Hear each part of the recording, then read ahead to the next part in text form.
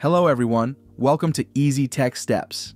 In today's video, I'll show you how to find your login name, also known as your username, on Windows 11. First, the simplest way to check your login name is by using the command prompt. Press Windows S, then type CMD and hit enter to open the command prompt. Once it's open, type the command whoami and press enter.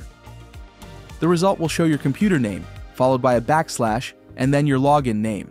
The part after the backslash is your username. The second method is by checking through Task Manager. Press Ctrl Shift Escape to open the Task Manager. Then go to the Users tab. Here, you'll see a list of accounts currently active on your computer along with their respective usernames.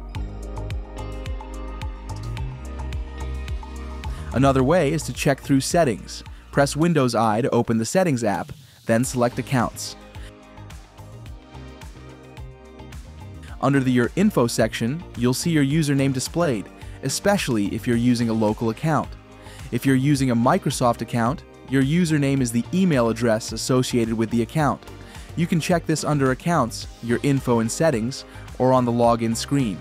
If you found this video helpful, don't forget to hit the like button subscribe to Easy Tech Steps, and turn on the notification bell so you won't miss any upcoming tech tutorials.